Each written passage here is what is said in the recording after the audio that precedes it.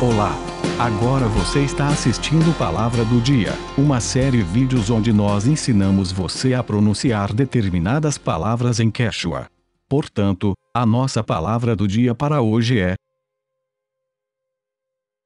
Takai. Takai. Takai.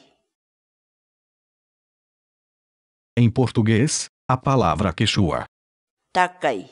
significa bater.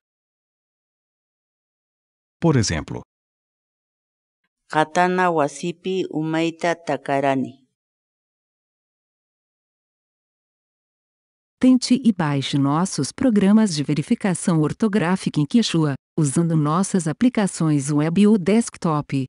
Vá ao nosso site sc.inantim.com